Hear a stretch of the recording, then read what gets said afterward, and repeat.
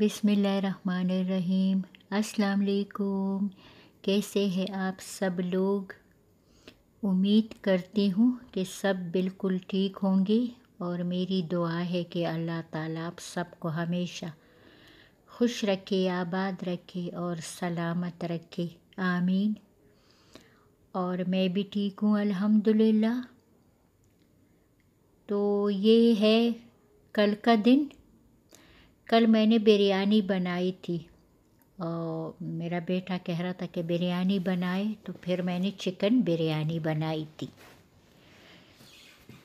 और एक बात मैं और ज़रा आपको बताऊँ कि पिछली वीडियो में आ, मैंने आपको दिखाया था कि मैंने चिकन बनाया था वो चिकन नहीं था वो थी मटन कढ़ाई।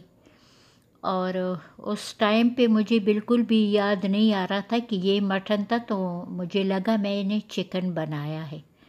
तो वो चिकन नहीं था, वो थी मटन कढ़ाई। तो कल मैंने बनाई थी बिरयानी और आज ये जो शामी कबाब मैंने दिखाई है, मैंने आज तकरीबन 11 बजे बनाए थे चाय के साथ। तो बहुत दिनों से मेरी तबीयत ख़राब थी। पता नहीं, एक दिन ठीक ठाक सोई रात को और सुबह उठी तो एक टांग में शदीद तकलीफ़। इतना दर्द हो रहा था मेरी टांग में कि मैं आपको क्या बताऊँ। और कितने दिन से वो आहिस्ता आहिस्ता जो है ना, मेडिसन भी खाई और जैतून के तेल से बहुत ज़्यादा मसाज किया। तो शुक्र अल्हम्दुलिल्लाह के कल से बेहतर है।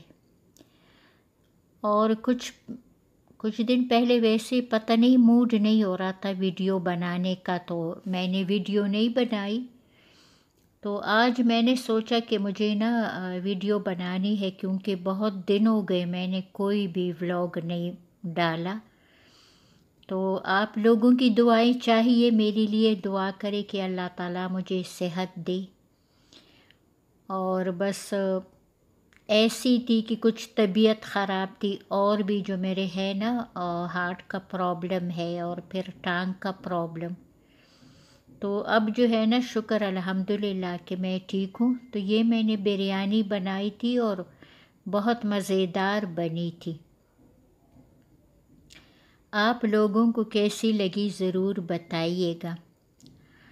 और अल्लाह ताला आप सबको हर किस्म की बीमारियों, परेशानियों और मुसीबतों से और तकलीफ़ों से महफूज रखे और इस वबा से भी महफूज रखे जिसने सारी दुनिया को अपनी लपेट में ले लिया है। बस अल्लाह ताला ही ख़त्म कर सकता है और अल्लाह ताला ख़त्म करे सारी दुनिया से इस वबा को और अल्लाह ताला सारे लोगों को महफूज रखे। तो बस ये है कि मेरे बेटे ने जब कहा कि, मम्मा, बिरयानी बनाए तो फिर मैंने बनाई। और मेरी आदत है कि मैं ना बिरयानी ज़्यादा बनाती हूँ। फिर हम लोग जो है ना, दो दिन खाते रहते हैं। तो बस ये थी बिरयानी और फिर आज जो है ना, मैंने दोपहर में भी बाहर से जो है ना हमने खाना मंगवाया आज। और ये ना कल रात की वीडियो है। मैंने बेटे से दही बड़े बनवाए थे तो ये मैं खा रही थी। तो बहुत मज़ेदार थे। मैं घर में भी बनाती हूँ, लेकिन बाहर के भी अच्छे लगते हैं। तो मेरे हस्बैंड तो नहीं खाते, मैंने और मेरे बेटे ने खाए थे।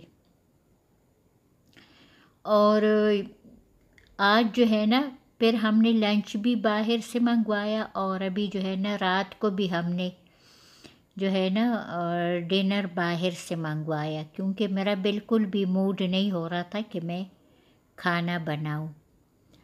और फिर इस वजह से जो है ना मेरे बेटे ने कहा कि आप न बनाए बाहर से मंगवाते हैं और फिर घर में खाते हैं।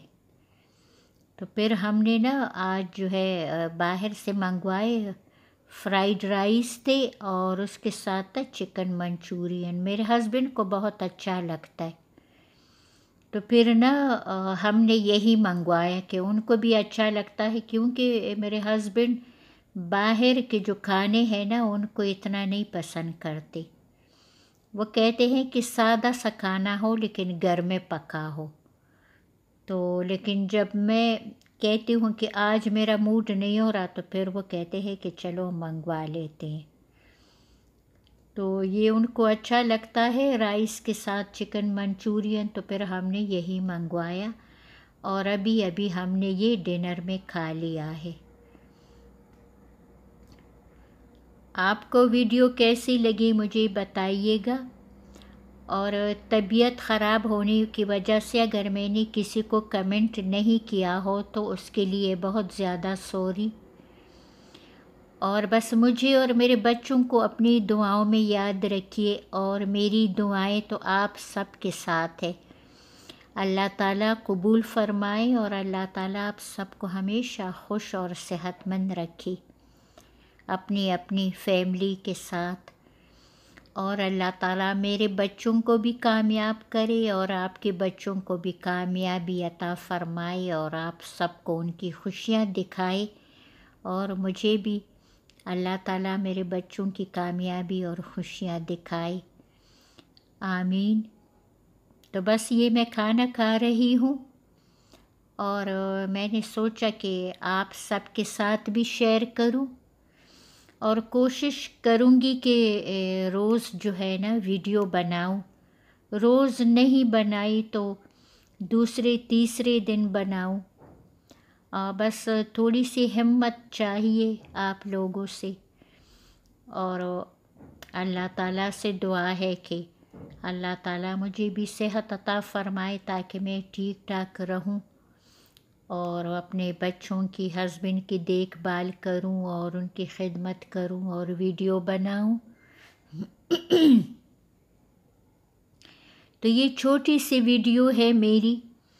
क्योंकि बस मैंने इतनी हिम्मत की है कि मैंने ये वीडियो जो है ना बनाई और इसको अपलोड कर रही हूँ। और इन ताला ज़िंदगी रही तो आइंदा ज़रा जल्दी जल्दी वीडियो बनाऊँगी।